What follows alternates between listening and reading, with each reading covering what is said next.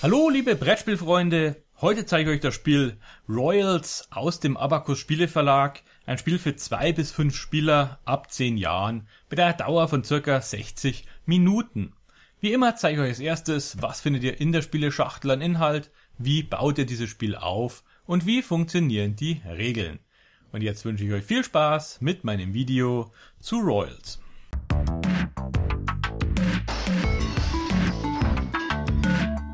In der Spieleschachtel findet ihr folgenden Inhalt.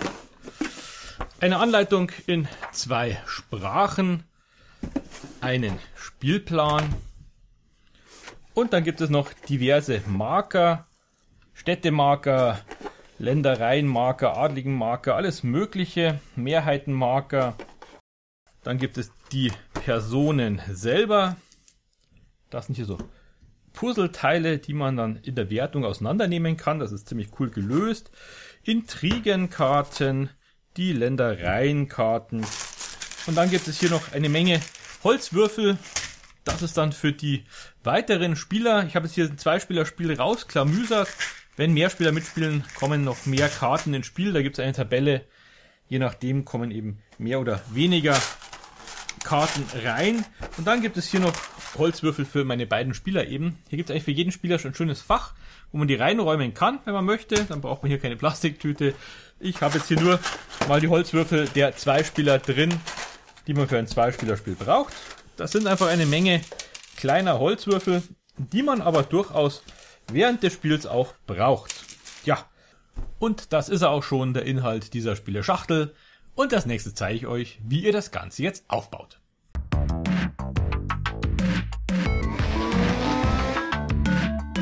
Der Spielaufbau funktioniert folgendermaßen. Ihr legt den Spielplan in die Tischmitte. Der ist relativ groß. Und dann legt ihr hier unsere Personen, die ganzen Adligen, in einer Reihe daneben. Das sind so Puzzleteile, wie gesagt, die kann man zusammenstecken. Und die legt man einfach mal hier an den Rand dran. Und zwar in aufsteigender Reihenfolge. Das geht von vier los und dann eben immer in Zweierschritten vorwärts. Vier, 8, 10, 12, 14, 16. Das sind die Adligen, die wir hier in diesem Spiel haben. Also das legen wir hier der Reihe nach einfach hin. Im Zweispielerspiel müsst ihr mit den schwarzen und den weißen Markern oder Holzklötzen hier spielen. Ansonsten sind nicht genug vorhanden. Hier außen haben wir jetzt diese Leiste, da legen wir diese 8, 12 und 16 drauf. Das sind Punkte, die man bekommt, wenn man auf jedem dieser Adligen einen eigenen Stein mal drauf hat, dann kriegt man der erste, der schafft, eben die 16 und folgend dann die anderen Spieler. Und jetzt muss man diese ganzen Länder bestücken. Das mache ich jetzt nur mal als Beispiel kurz mit einem, den Rest mache ich dann, äh, da müsst ihr mir nicht zuschauen. Da gibt es hier diese Schildmarker, die legt man einfach da, wo es aufgedruckt ist, hier neben das Wappen, 8 und 5. Oder hier haben wir 5 und 3. Also es sind genau immer die Sachen, die auch aufgedruckt sind, die legt man hier einfach drauf. Dann haben wir als nächstes, jetzt lege ich die noch schnell hin, 7 und 6, die Stadtmarker. Das machen wir auch kurz mal bei Blau. Ich nehme mir kurz alle blauen raus. Und zwar sind das hier diese eckigen. Und auch für die gibt es immer ein Feld. Das sind einfach hier diese Felder, wo die entsprechende Zahl aufgedruckt ist. Da legt man es drauf. Hier die 5, die 1 ist hier unten, die 3 ist hier und die 2 ist da. Auch das macht man einfach pro Land alles hin. Und dann gibt's hier unten noch diese Mehrheitenmarker und die legt man auch entsprechend einfach hier drauf. Es gibt drei Epochenwertungen und jeweils gibt es eben die zwei höchsten, die dann hier etwas bekommen. Genau, und das macht man auch pro Zeile fertig. Da müsst ihr mir jetzt nicht zuschauen, das baue ich jetzt kurz komplett auf. Dann gibt es die Intrigenkarten, da sind immer zwei Schilder drauf mit zwei verschiedenen Farben. Die mischt ihr gut durch und legt sie einfach neben dem Spielplan hin. Da kann man sich was ziehen, wenn man möchte. Ich habe hier wieder ein kleines Platzproblem, deswegen lege ich die jetzt mal hier drüben hin. Und dann gibt es noch hier unsere Ländereienkarten, da sind einfach in den vier Farben der Länder einfach immer eine Flagge drauf. Die müsst ihr super gut durchmischen, da werdet ihr ständig sehr, sehr viele gleiche Karten aufeinander haben. Auch während des Spiels müsst ihr die zweimal gut durchmischen nach jeder Epochenwertung, denn hier sammeln sich einfach viele gleiche Karten an. Drei Karten davon legt man offen aus, den Rest als Stapel hier hin. Ich lege jetzt mal hier nebeneinander, das kann man glaube ich sehen, genau. Das sind unsere drei Karten, die offen liegen, der Rest ist der Nachziehstapel. Jeder Spieler nimmt seine Steine hier an sich und ich baue jetzt noch kurz den restlichen Spielplan auf, indem ich die ganzen Marker hier noch auf dem Spielplan verteile und dann werde ich euch kurz die Spielidee vorlesen.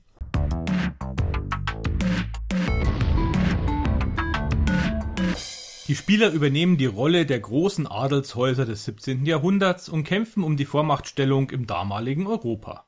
Mit Hilfe von passenden Länderkarten besetzen sie einflussreiche Positionen und erhalten dafür Boni in Form von Siegpunkten. Je höher der Rang des zur Position gehörenden Titels, desto mehr Länderkarten werden dafür benötigt. Bereits besetzte Positionen können durch Intrigenkarten streitig gemacht werden.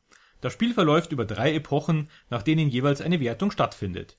Die Spieler mit dem größten Einfluss in den jeweiligen Ländern erhalten dabei Siegpunkte. Nach der dritten Epochenwertung endet das Spiel mit der abschließenden Wertung der einzelnen Titel. Der Spieler mit den insgesamt meisten Siegpunkten gewinnt.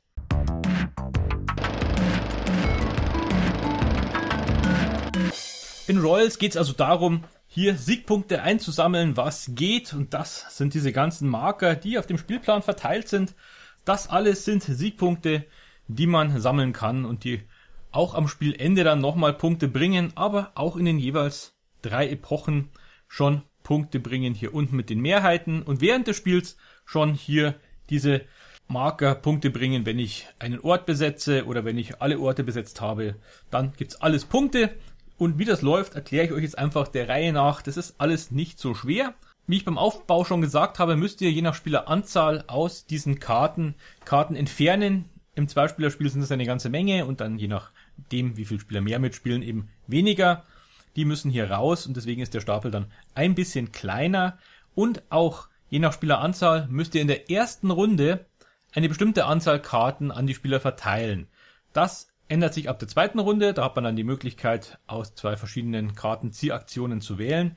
Am Anfang ist es aber so, dass der erste Spieler zwei Karten bekommt und der nächste Spieler drei Karten. Diese Karten darf sich der Spieler frei aus den drei offenliegenden Karten raussuchen oder auch vom verdeckten Kartenstapel ziehen. Er sagt jetzt einfach mal, ich hätte ganz gerne hier die blaue Karte und eine verdeckte. Karten, die ich vom offenen Stapel nehme, werden erst wieder aufgefüllt, wenn der Spieler seine Karten alle genommen hat. Das heißt, es wird nicht eine Karte rausgenommen und sofort eine neue reingelegt, sondern erst am runden Ende von diesem Spieler wird hier wieder aufgefüllt. Die Karten nehme ich natürlich verdeckt auf die Hand. Es gibt auch ein Handkartenlimit. Das sind dann zwölf Länderkarten und vier Intrigenkarten. Das ist das Handkartenlimit. Wenn ich am Ende meines Zuges mehr wie diese zwölf Karten auf der Hand habe oder mehr wie vier Intrigenkarten auf der Hand habe, muss ich eben entsprechend abgeben. Während meiner Runde kann ich die Karten noch einsetzen. Da darf ich auch durchaus mal kurzfristig mehr Karten auf der Hand haben. Jetzt habe ich für meine erste Runde hier mal zwei Karten genommen und der Spieler hier drüben kriegt dann wieder eine volle Auslage, aus der er nehmen darf. Aber jetzt bin ich erstmal dran noch mit meinem Zug. Und der Zug sieht immer folgendermaßen aus. Auch in den weiteren Runden ist es jetzt immer so, als erstes werden Karten genommen, dann können Karten eingesetzt werden, um hier irgendetwas zu besetzen und dann wird wieder aufgefüllt. Das ist der Ablauf dieses Spiels. Und jetzt gehen wir einfach mal kurz durch, was kann ich denn mit meinen Karten so tun. Wir gehen jetzt erst einmal hier auf die einzelnen Personen eines Landes ein. Es gibt in jedem Land für unterschiedliche Personen, vom König runter bis zum Marschall. Auch die sieht man hier außen, die Personen. Das heißt, hier gibt's in Frankreich einen Marschall, genauso wie auch hier unten in Spanien. Also Marschall gibt's auch hier und da. Den gibt's zum Beispiel überall. Auch einen König gibt's, glaube ich, in jedem Lande. Und neben dieser Person ist immer die Kartenanzahl in der Farbe die ich haben muss, um diese Position zu besetzen. Also hier, um einen König in Madrid zu besetzen, bräuchte ich acht gelbe Karten auf der Hand, die ich ausspiele, um dann hier einen meiner Marker auf diesen Ort zu setzen. König ist natürlich das teuerste, deswegen kann man sich am Anfang auch ein bisschen billigere Sachen raussuchen. Zum Beispiel kostet mich hier unten der Marschall nur eine Karte in Gelb, um da eine Figur von mir drauf zu setzen, so einen Holzstein. Und das Wichtige ist zu wissen, auf jede Figur darf nur von einer Spielerfarbe ein Klötzchen drauf. Ich kann ihn später im Spiel vertreiben, indem ich hier mit diesen Intrigenkarten arbeite. Aber grundsätzlich darf auf jede Person nur ein Holzklötzchen drauf. Und der erste Spieler, der ein Holzklötzchen auf einen Ort setzt, auf dem noch hier so ein Wertungsmarker liegt, der bekommt diesen Wertungsmarker auch. Jetzt gehen wir einfach das mal kurz durch und sagen, unser Spieler hier drüben möchte ganz gerne einen Ort besetzen. Er spielt eine Länderkarte aus. Die brauche ich für hier unten. Da brauche ich genau eine Karte.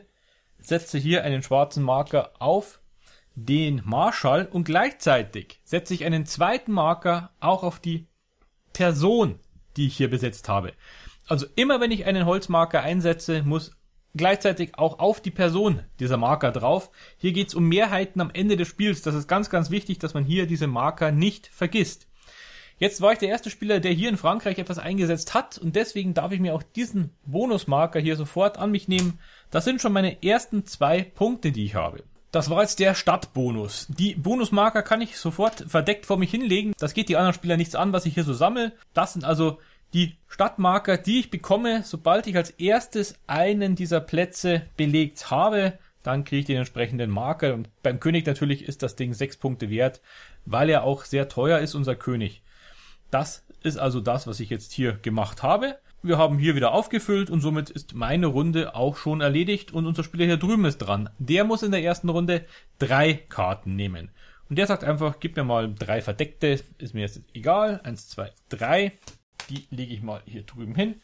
Jetzt habe ich zweimal blau, einmal rot. Jetzt bin ich dran mit Setzen. Ich darf pro Runde, wo ich dran bin, nur einmal ein Ort besetzen. Ich darf nicht mit verschiedenen Farben jetzt hier verschiedene Sachen gleichzeitig besetzen, sondern einen Ort besetzen mit einem Marker. Jetzt kann ich sagen, okay, ich würde hier ganz gerne Avignon besetzen. Da brauche ich zwei blaue Karten für. Das heißt, ich gebe diese zwei blauen Karten ab, setze hier auf dem Baron meinen Marker drauf und auch hier auf dem Baron setze ich einen Marker drauf und ich kriege diese zwei Punkte, weil ich der Erste bin, der hier etwas hingesetzt hat. Hier auffüllen müssen wir nicht und schon ist unser Spieler hier drüben wieder an der Reihe. So, jetzt gehen wir mal auf ein paar Sonderregeln ein, die es hier noch gibt. Zum einen kann ich drei beliebige Karten, die ich habe, als eine Farbe einsetzen, als Joker. Also gebe ich drei Karten einer anderen Farbe ab, kann ich sie verwenden, als wäre es eine Karte der Farbe, die ich brauche. Ebenso kann ich zwei beliebige Intrigenkarten abgeben, um damit eine Farbe zu simulieren, die ich brauche. Intrigenkarten gehen wir auch mal kurz an. Das sind diese Karten, auf denen immer zwei verschiedene Farben drauf sind. Und diese Karte brauche ich, um einen Ort, der schon besetzt ist, zu meinem Ort zu machen. Denn wir haben ja gesagt, auf jedem Ort darf nur ein Marker drauf sitzen. Sobald der da sitzt, gehört er diesem Spieler. Ich habe aber die Möglichkeit, ihn mit einer Intrigenkarte zu verdrängen. Und um das zu tun, bräuchte ich jetzt in dem Fall von diesem Spieler eine Intrigenkarte, die irgendwie ein blaues Wappen drauf hat.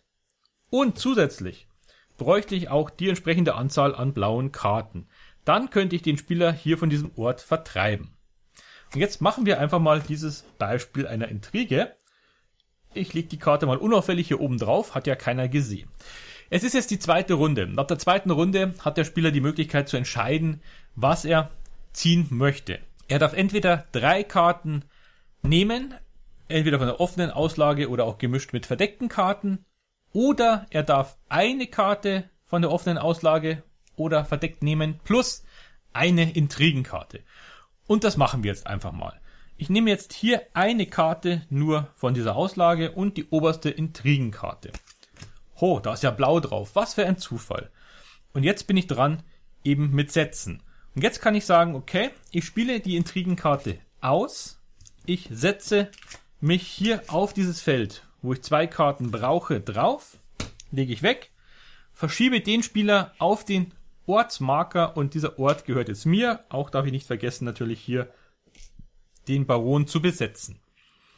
Der Spieler kommt also nicht vom Spielplan runter, sondern er landet hier auf diesem Ortsmarker. Wichtig dabei ist es, Dieser Marker auf dem Ortsmarker zählt jetzt noch dafür, wenn ich versuche, jeden Ort mit einer Figur von mir zu besetzen. Dafür zählt der noch. Aber die Punkte, die ich dafür kriege, die kriegt nur der Spieler, der jetzt da direkt draufsteht. Und das ist eben diese Intrige. Ich brauche die Karte in der entsprechenden Farbe, war blau mit drauf und ich muss die entsprechende Kartenanzahl haben. Dann kann ich einen Spieler wieder runterschubsen. Das mache ich normalerweise nicht so früh im Spiel. Das mache ich normalerweise erst ein bisschen später. Wenn es dann ein bisschen enger zugeht, dann werde ich diese Funktion auch öfters nutzen. Und jetzt decke ich hier wieder eine neue Karte auf und unser Spieler hier drüben ist also wieder an der Reihe. Auch er hat jetzt die Möglichkeit zu sagen, ich nehme eine Karte von der offenen Auslage oder verdeckt und hole mir eine Intrigenkarte oder ich nehme bis zu drei Karten hier von der offenen Auslage und den verdeckten Karten.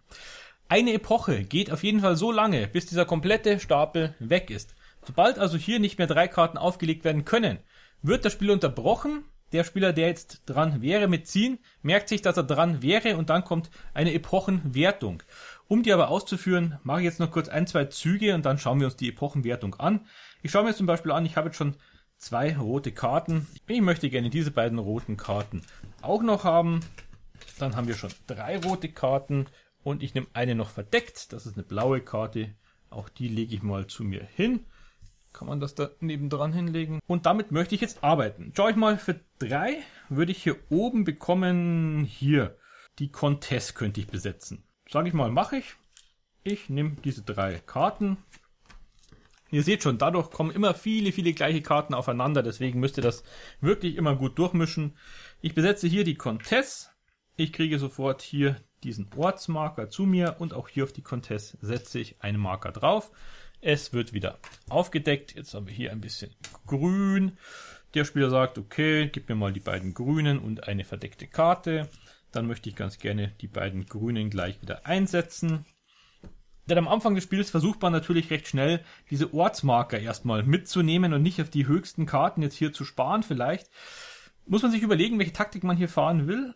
Ich habe immer ganz gern so gespielt, dass ich mir erst schnellstens irgendwelche Orte besetzt habe, um an diese Siegpunkte hier zu kommen, denn die sind dann weg und da gibt's dann nichts mehr. Ich habe jetzt hier besetzt einen Baron, also kommt auch hier wieder ein Marker von mir drauf. Und hier sieht man schon, jetzt kommen hier mehr wie ein Marker drauf. Und hier geht es eben um Mehrheiten, die am Schluss des Spiels dann wichtig sind. Also auch das hier muss man gut im Auge behalten, denn das sind nochmal schöne Punkte. Ja, es wird wieder aufgedeckt. Unser Spieler hier drüben wäre an der Reihe und würde sich jetzt von mir aus die zwei gelben nehmen hier. Würde die auch gleich wieder spielen, um hier diesen Baron hier unten zu besetzen. Auch der ist zwei Karten. Braucht man dafür. Einer hier drauf und der Siegpunkte-Marker zu mir. Jetzt gehen wir noch kurz die anderen Sachen durch und die Epochenwertung. Wie komme ich an diese Landmarker? Das geht ganz einfach. Ich lege es jetzt einfach mal hin, denn ich denke mal, die Regeln soweit habt ihr verstanden. Jetzt sage ich mal, ich habe hier noch auf Rot einen gelegt, habe das hier bekommen. Er hier hat von mir aus hier oben bei Grün weitergemacht, hat sich hier drauf gelegt auf noch einen Baron. Dann war Weiß wieder dran, der hat hier noch den Grünen hier besetzt, unseren Duke. Dafür kriegt er dann eben keinen Ortsmarker mehr, weil der ja schon weg ist. Dann war Schwarz dran, hat hier von mir aus sie besetzt, die Contest, zack, kriegt den hier.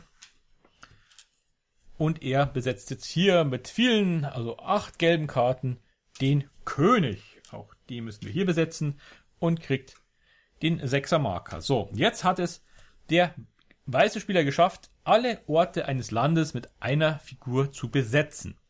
Es zählt eben auch, wenn er verdrängt worden ist und hier außen liegt. Auch das wäre für diese Wertung, ich habe in jedem Ort dieses Landes einen Stein drin, gültig. Und der erste Spieler, der das schafft, der darf sich eben hier dieses Wappen nehmen, das höchste, das noch übrig ist, in dem Fall das Sechser-Wappen und legt das auch zu sich hin. Der zweite Spieler, der es schafft, alle Orte zu besetzen, kriegt eben das zweite Wappen und wenn dann mehr Spieler auch noch schaffen, diesen Ort zu besetzen, dann gehen die halt leer aus. Auch hier oben machen wir kurz das Beispiel, sagen wir, er besetzt hier noch die Prinzessin kriegt diesen schönen siebener Marker. Einmal Prinzessin besetzt, hat es auch in jedem Ort dieses Landes eine Figur und würde auch diesen Landesmarker bekommen. Das sind also die Marker, die man hier während des Spiels so einsammelt. Und jetzt wird so lange gespielt, bis dieser Stapel hier leer ist und hier nicht mehr auf drei aufgefüllt werden kann. Sobald das der Fall ist, kommt die erste Epochenwertung. Und hier werden die Mehrheiten in jedem Land jetzt angeschaut. Und dazu werden die Punkte, die hinten auf dieser Rolle drauf sind, zusammengezählt. Jetzt schauen wir uns mal das gelbe Spanien hier unten an und schauen mal. Der schwarze Spieler hat nur hier unten einen Marker drauf, hätte also einen ganzen Punkt.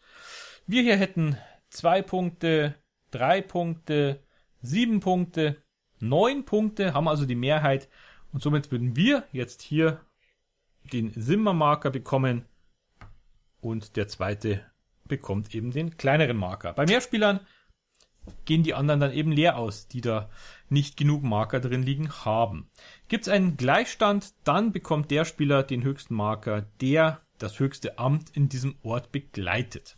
Und so werden einfach die ganzen Mehrheiten dann durchgeschaut. Wie gesagt, macht jetzt keinen Sinn, weil ich nicht richtig gespielt habe, aber so werden diese einfach alle verteilt. Dann ist diese erste Reihe leer und an die Spieler vergeben irgendwie. Machen wir es einfach mal so, so. Und fertig wäre die erste Epoche. Hat natürlich ein Spieler in einem Land keinerlei Marker drin, dann kriegt er auch nicht den zweiten Platz. Wenn er nichts drin hat, kriegt er eigentlich nichts. Gut, dann wird der Stapel wieder neu gemischt, es wird aufgedeckt und wir spielen die zweite Epoche. Auch die geht wieder so lange, bis der Stapel weg ist. Wiederwertung und dann geht's an die dritte Epoche. Wenn während des Spiels folgende Situation eintritt, der Spieler weiß, hat jetzt auf jedem von diesen Adligen einen Marker drauf, dann kriegt er sofort hier den höchsten Marker von diesen adligen Markern. Darf also zu sich nehmen, und der, der es als nächstes schafft, der kriegt den nächsten und auch der dritte, der es schafft, hier auf jedem von diesen Adligen einen Marker drauf zu haben, kriegt auch nochmal hier die 8 ab. Das wird auch noch während des Spiels verteilt. Muss man eben darauf achten, wer als erstes hier fertig ist. Auch da ein bisschen drauf spekulieren. Ich brauche nur noch dies oder das. Also muss ich mir in dem und dem Land ein bisschen was sammeln, dass ich da eben drauf komme. Und schon in der zweiten Runde wird es dann anfangen mit den Intrigen, dass man Spieler verschieben muss, dass man eben hier Sachen drauf kriegt. Auch bei Mehrspielern ist es so, dass man da relativ schnell dann die Leute verbannen muss ein bisschen auf die Orte mit den Intrigenkarten. Das wird dann sehr spannend. Und wenn dann die dritte Epoche auch gespielt wurde, dann endet das Spiel.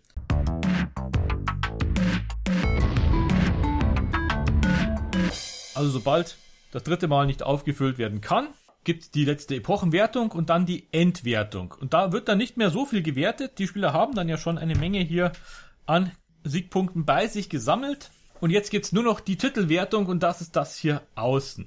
Hier wird einfach geschaut, wer hat auf dem jeweiligen die Mehrheit. Jetzt nehme ich einfach mal hier die Prinzessin raus, weil die gerade hier oben liegt. Da sehen wir, da haben die Spieler Gleichstand. Das heißt, der Weiße und der Schwarze haben jeweils ein Steinchen drauf.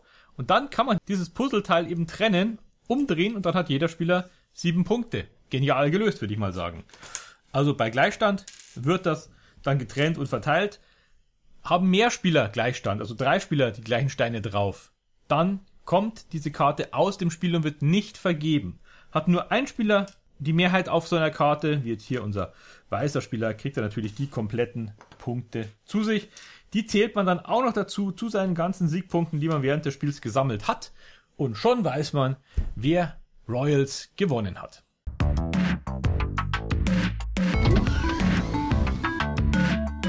Das war sie, meine Brettspielvorstellung von Royals aus dem Abacus Spieleverlag. Ich hoffe, euch hat das Video gefallen und wir sehen uns dann im nächsten Brettspielvideo wieder. Bis dahin wünsche ich euch eine gute Zeit. Servus, macht's es gut, euer Michael.